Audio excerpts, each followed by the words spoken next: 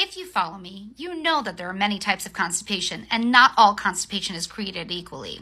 Some of my patients who take opioids for their chronic pain come in with complaints of constipation. These patients may be experiencing opioid induced constipation or OIC. Opioids relieve pain by binding to opioid receptors in the brain.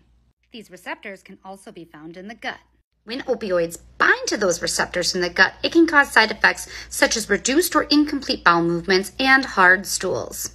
In my experience, I've seen these patients after they tried multiple over the counter treatments such as laxatives, fiber, which have not relieved their OIC symptoms.